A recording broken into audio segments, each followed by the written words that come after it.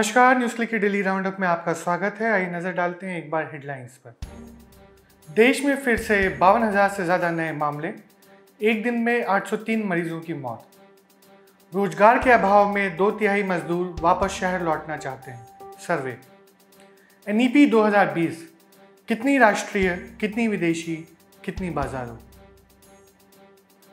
केंद्रीय स्वास्थ्य मंत्रालय द्वारा आज मंगलवार 4 अगस्त की सुबह 8 बजे जारी ताज़ा आंकड़ों के अनुसार पिछले 24 घंटों में कोरोना के बावन नए मामले सामने आए इसके अलावा देश भर में कोरोना से 803 मरीजों की मौत हो गई। साथ ही इसी बीच कोरोना से पीड़ित चौवालीस हज़ार तीन सौ छह मरीजों को ठीक भी किया जा चुका है। देश भर में अब कोरोना वायरस से संक्रमित मरीजों की संख्या अठारह लाख पचपन हज़ार सात सौ पैंतालीस हो गई है। स्वास्थ्य मंत्रालय की ताज़ा जारी जानकारी के अनुसार अभी तक छाछठ दशमलव तीन ज़ीरो फ़ीसदी यानी बारह लाख तीस हज़ार पाँच सौ नौ मरीजों को ठीक किया जा चुका है। लेकिन संक्रमण के कारण अभी तक अड़तीस हज़ार नौ सौ अड़तीस मरीजों की मौत हो चुकी है।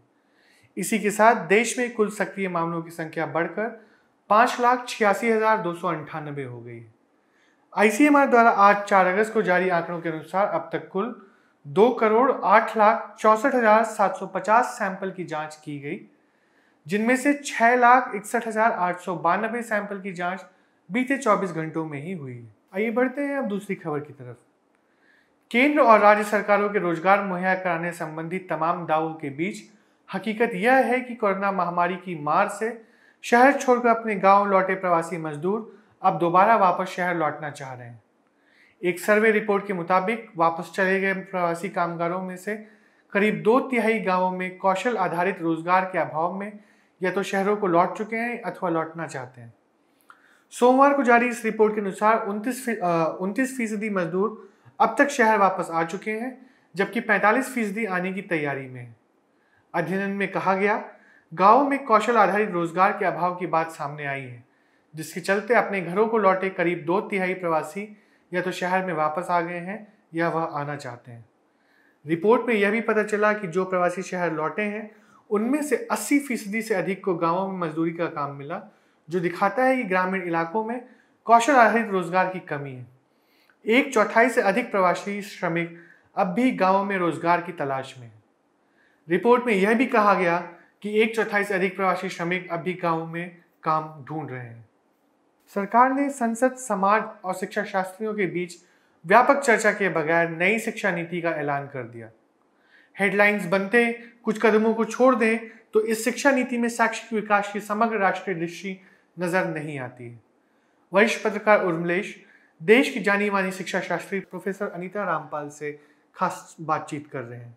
आइए सुनते हैं उन्हें। पहली बात, अनीता जी, मैं आपसे जानना चाहता हूँ कि इस वक्त देश का जो शैक्षिक परिदृश्य है, एजुकेशनल सिनारियो है, उसमें स्कूल एजुकेशन सिस्टम बेहाल है, बर्बाद हो रहा है। कई ऐसे राज्य हैं जहाँ प्राइमरी स्कूलों को बंद किया गया है और प्राइवेट के हवाले कर दिया गया है। दूसरी तरफ़ जो हायर एजुकेशन है, उसका क्या हाल है? जेएनयू से जामिया तक आप देख सकती हैं और पूरे देश का हाल देख सकती हैं। स्टेट यूनिवर्सिटीज तो एक तरह से अनेक जगहों पर कोलैप्स के कगार पर है। तो ऐसे में क्या आपको लगता है कि ये शिक्षा नीति कोई कारगर नज़रिया पेश करती है? चौतीस साल बाद जो ये शिक्षा नीति आई है और जिसको बनने में पाँच छः साल लग गए, कई ड्राफ्ट आए बीच में। पिछले साल तो एक 500 पेज का ड्राफ्ट आया, जिससे हमें और कुछ समझ बनी हमारी कि क्या दिशा ये, क्या रुख है इसका। अपेक्षाएँ बहुत हैं, पर पहले जब भी कोई नीति आती है, वो हमेशा जायजा लेते हैं शुरू में कि पिछले कुछ सालों में किस तरह से बदलाव आए हैं और पहले की नीतियों ने कितना क्रियान्वयन किया है, क्या संभव हुआ है। क्या नए चुनौतियाँ सामने आई हैं? तो ये सब एक नीति में मिलता है जब हम नीति का अध्ययन करते हैं। इस नीति में ऐसे कुछ नहीं है। इसमें तुरंत ही बहुत सटीक दो तीन लाइनों में शुरू में बता दिया है कि मकसद क्या है।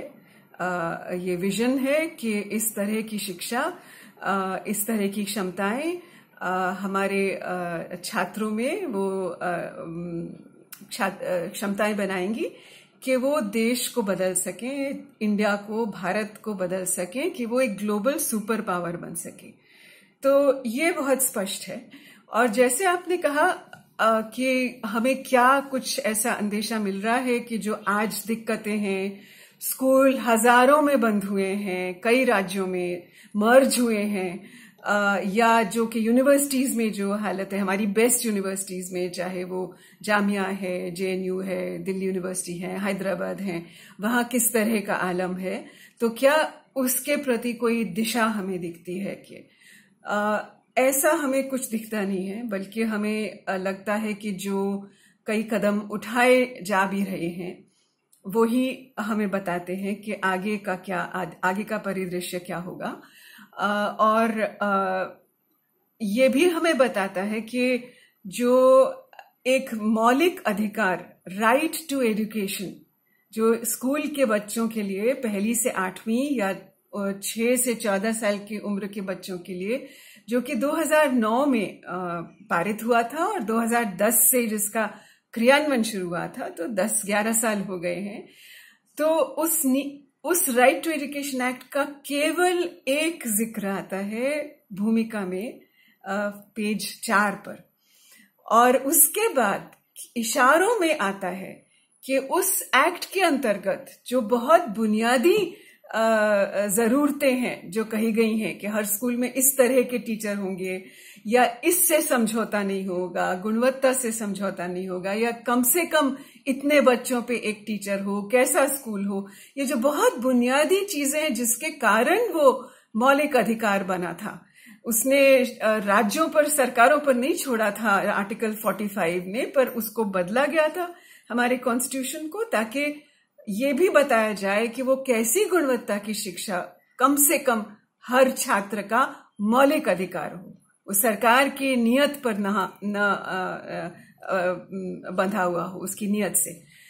तो उसको अब ये नीति जो है, उसके साथ समझौता कर रही है।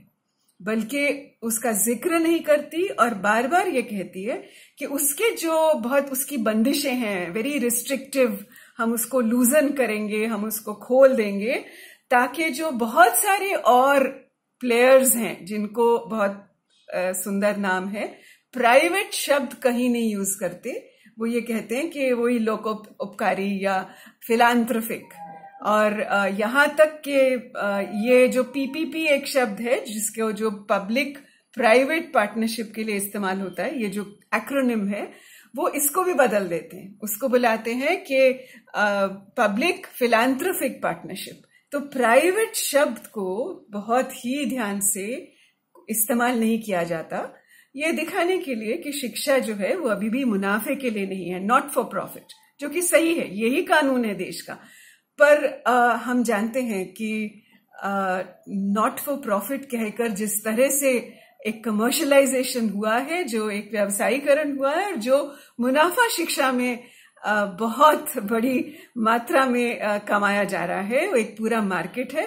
उस मार्केट की भाषा हमें दिखती है और उस मार्केट के लिए आह्वान दिखता है, एक बुलावा दिखता है कि और लोग भी आए और स्कूल खोलें, क्योंकि अब हम जो स्कूल खोलने के नियम है रेगुलेशन है, उनको बहुत हल्का कर रहे हैं। दो जगह तो बहुत स्पष्ट रूप से ये कहा गया है। तो ये एक चिंता की बात है, बहुत चिंता की बात है, क्योंकि वही जिनके जिनके लिए ज़रूरत है, जो वंचित परिवार से हैं, वंचित जगहों से हैं, जिनको इतने दशकों से वो गुणवत्ता वाली शिक्षा नहीं मिली जो कि संविधान उनको प्रॉमिस करता था, वादा करता था, जिसके लिए उनके लिए ये राइट टू एजुकेशन एक्ट आया।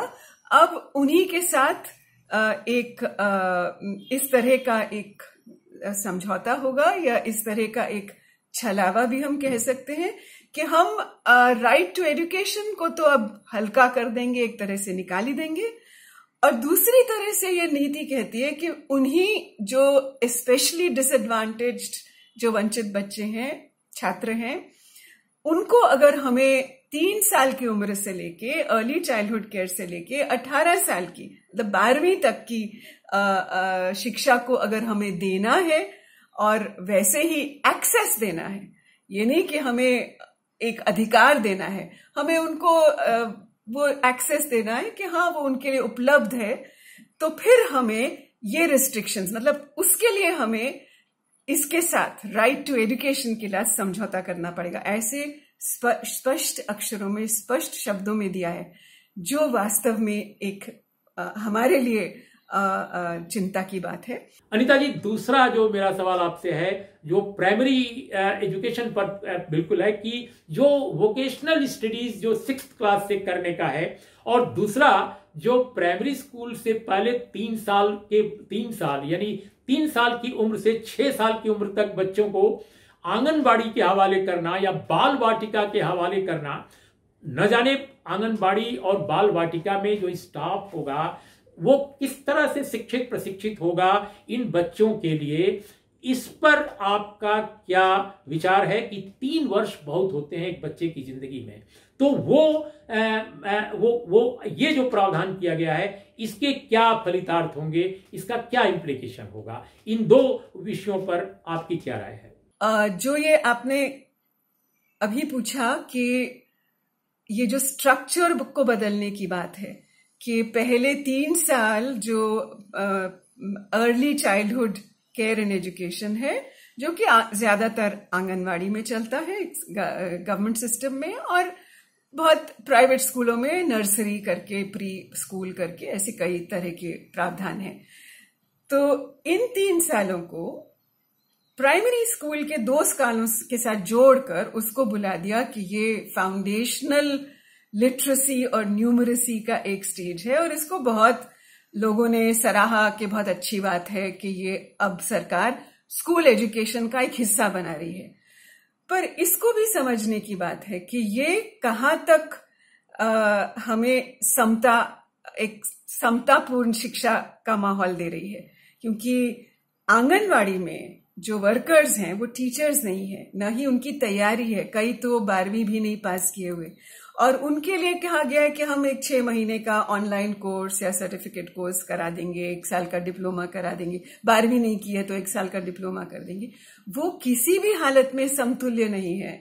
इक्विवेलेंट नहीं है कि हम जो एक प्राइमरी के अर्ली स्टेज पे भी बच्चों के लिए, खासकर अगर वो ऐसे परिवारों से हैं जहाँ की उनको और भी ज़रूरत है कि अच्छी शिक्षा मिल सके, गुणवत्ता वाली शिक्षा मिल सके और ऐसे टीचर्स मिल सके जो कि वास्तव में उनको, वो पूरा एक माहौल दें जिसमें कि उनके उनका विकास हो सके।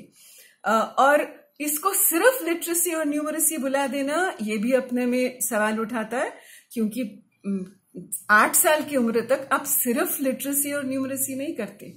वो एक उसका थोड़ा ट्रिवियलाइज करने का तरीका है।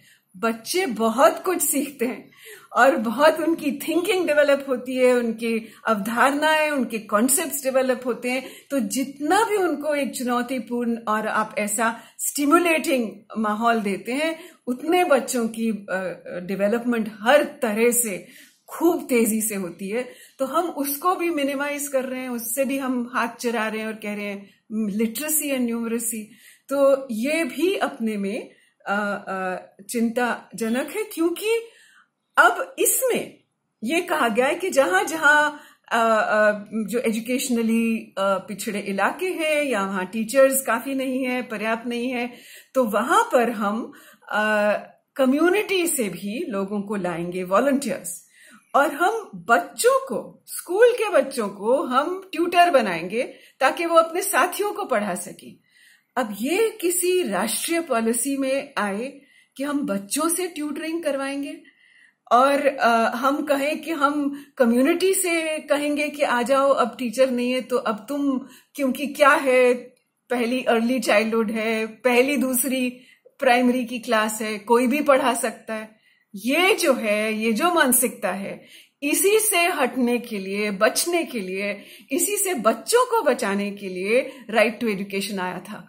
और ये अब मानसिकता धड़ल्ले से आ रही है एक नेशनल मिशन के नाम से कि हम फाउंडेशनल एक मिशन बना रहे हैं। और जो 500 पेज का ड्राफ्ट था, उसमें तो बहुत स्पष्ट लिखा था कि हम एक रेमेडियल इंस्ट्रक्शनल एड एक रिया और वो ऐसी महिला होगी उस गाँव की जिसने स्कूलिंग किया हो और उसको हम अपॉइंट करेंगे कि वो जो बच्चे पिछड़ रहे हैं या स्कूल छोड़ रहे हैं, उनको दोबारा से कैसे तैयार करे। अब वो शब्द निकाल दिया क्योंकि अब छोटी हो गई है पॉलिसी संक्षेप में कहा गया है, पर कम्युनिटी से इंगेज करेंगे वो ही दिशा हमको दिखा रहा है। तो इसलिए सबसे जो प्राथमिक, जो अहम स्टेज है अगर बच्चे की बच्चे की विकास की तो फिर उसी स्टेज के साथ हम नहीं देख रहे कि कहीं बहुत गंभीरता से ये नीति हमको कोई अपनी गंभीर एक निष्ठा दिखा रही है। ऐसा नहीं देख रहा। तो ये आ, आ, सोचने की बात है। न्यूज़ क्लिक की डेली राउंड अप में बस इतना ही। इन सभी खबरों को और विस्तार में जानने के लिए आप जा सकते हैं न्यूज़ क्लिक की वेबसाइट पर। हमें फॉलो कीजिए ट्विटर फेसबुक इंस्टाग्राम पर और सब्सक्राइब कीजिए यूट्यूब पर। देखते रहिए न्यूज़ क्लिक धन्यवाद।